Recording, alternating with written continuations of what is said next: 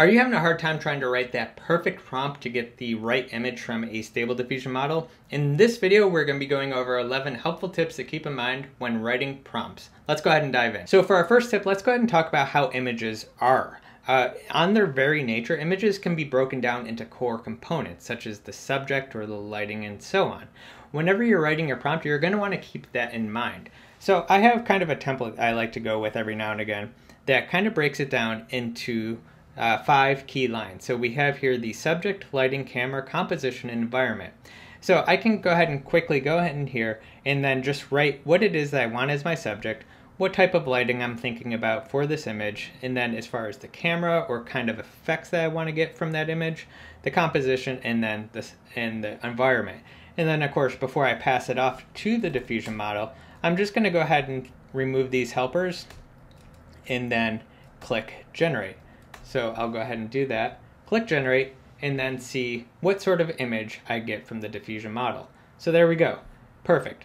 So if you need a little bit more organization when writing a prompt, think about it in separate lines rather than one long string. It might be a little bit more helpful for you. Tip number two, it's important to know the clip model that your Stable Diffusion model was trained upon.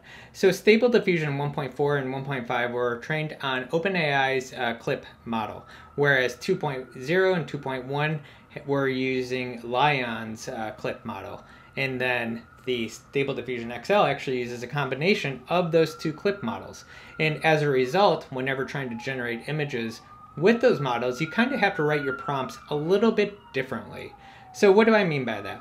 Well, OpenAI's clip model, you have to be a little bit more precise whenever using it. You have to use shorter terms in order to get the right type of image you're looking for, whereas LAION's clip model is much more expressive. The key takeaway here though is that whenever you use a model, kind of see if the uh, author of that model has any sample images and kind of look at how they formulate their prompts. If they're very long and expressive or if they're very short, like one person, comma, sidewalk, comma, New York, comma, and so on and so forth. You get the idea. So keep that in mind. And I'm actually going to link to this in the description. I'm not going to uh, spend too much time on this, but here's actually a demo website that I came across in researching for this video. And so I put in the term cat in a wizard hat, and it did an extraordinarily good job of returning those sorts of images within the data set, even if the image didn't have that those terms as the caption. So we can see here that this one says beautiful Halloween pet costumes parentheses 23, yet it still returned images, even if they're repeated, of a cat in a wizard hat. And then we have much more examples here, but you know, you can kind of go in there and play with it and see what the clip model will return depending on the types of queries that you provide to it. Tip number three is to be specific with your prompt you know, you can't really be vague when working with stable diffusion models. Cat and wizard hat can mean a lot of different things. Where is the cat? Is it inside or outside? Is it doing anything else? You know, and so on. What's the lighting should be? Whereas if you are very specific, like illustration of a cat and wizard hat, comma, next to a fireplace, comma, golden hour lighting, 8K, so on and so forth. You get the idea. You can be much more specific, and that will help the diffusion model kind of generate the image it is that you're looking for. Tip number four, negative prompts. So just as important the actual prompt is when writing it out, so too are the negative prompts. So to go back to our earlier example here, I can see that there's a flower here in the right hand corner, and maybe I didn't want that in my original image. Well, to go ahead and remove that, I'm going to go ahead and just recycle the seed and hopefully we'll generate the same image here, but without the flower. Now, I haven't tested this and we'll see what happens. Um, and it looks like it changed the flower to kind of like a red bush, which is great. Uh, now, if we didn't want something red, we could go ahead and further specify that we don't want the color red within the image here.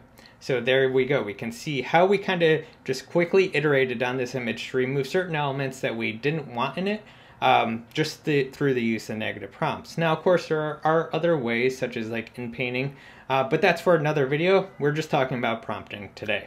Next up, let's talk about emphasis. So what is it that we're trying to emphasize or de-emphasize in an image? And what if you're using something like Automatic 1111's Web UI, you can actually provide an emphasis on certain terms within your prompt.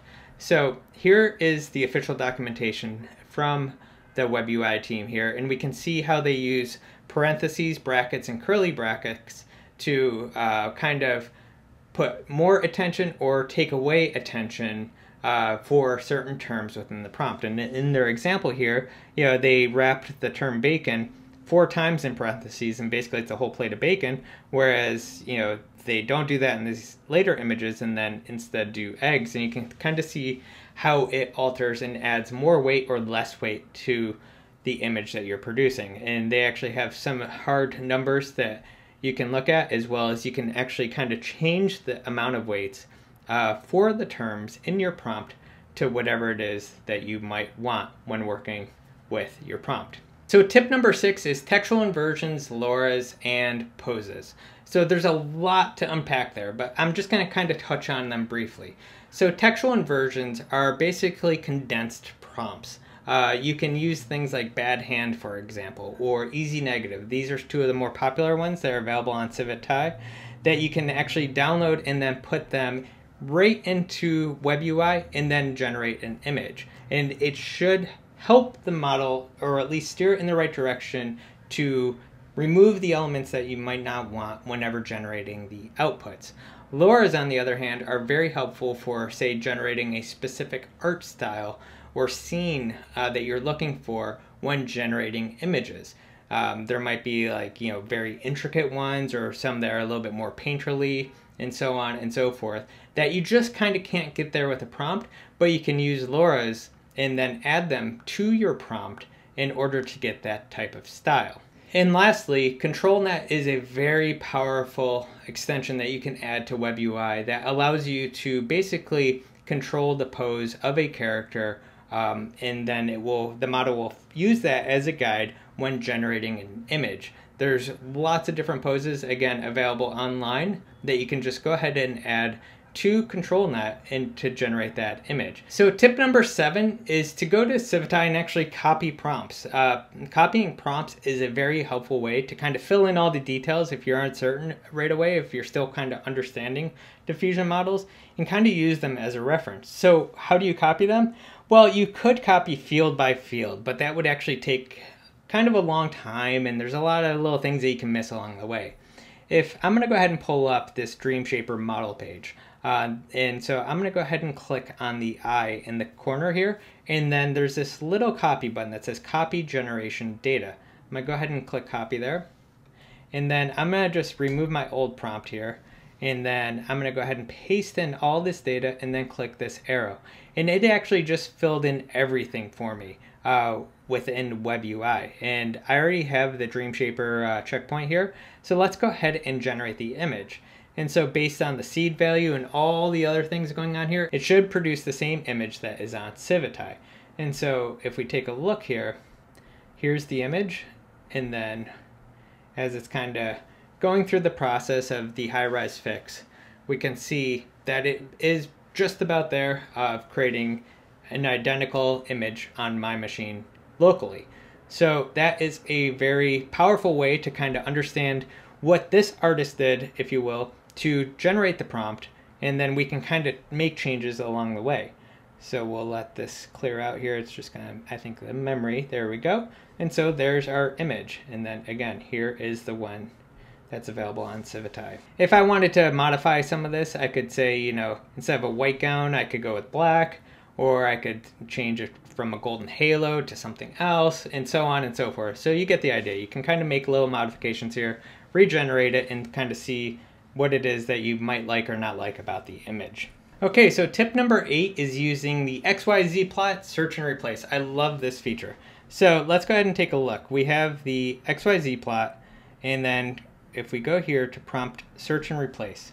So we could do a cat and a wizard hat, um, but what if we wanted to do, say, cat, dog, uh, lion, and then generate that? Let's go ahead and see how this would kind of change the uh, the image, if you will, uh, through different uh, searching and replacing of the words. So here we go. We have now three completely different images of a cat, dog, and lion, all getting swapped out uh, for that term. So basically, it's just finding and then searching and replacing it. It's that simple.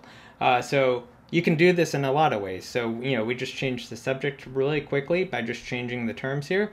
But, you know, you could kind of change around, say, something like the 35 millimeter to, say, an 85 millimeter camera, and then to kind of see what type of result you would get with that. You know, take a 3D render with, you know, 8K or whatever it might be. And so you can have a lot of fun kind of changing what the image might be with just a simple search and replace. So tip number nine is prompt order, and I kind of spoke about this a little bit earlier.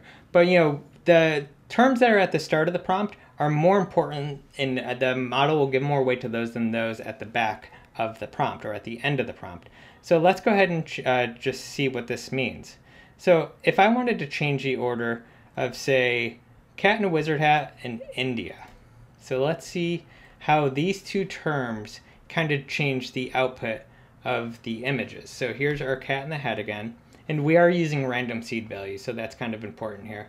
And we can see that cat in a hat, or cat in a wizard hat in India, um, kind of changes the image only slightly. There's more of an emphasis on the jungle whenever it comes to India, whereas the cat in the wizard hat at the front of it uh, brings it a little bit more uh, prominence to the subject. But both of them, the differences here are subtle. But if you wanted to kind of change you know, different terms like say symmetrical, we could go ahead and you know see if that does anything as well to the image by just going ahead and regenerating here and then seeing how those two terms flipped around might change the output if anything. Um, and so we can see not too much has changed between those two. While the demonstrations here weren't really too powerful, there might be instances whereas if you have a really long prompt or a lot of details in that prompt and you kind of want to see what would happen to that image if you change it around a little bit, prompt order is a good way to kind of test that without having to copy and paste repeatedly. And for tip 10, the last one is going to be the prompt matrix.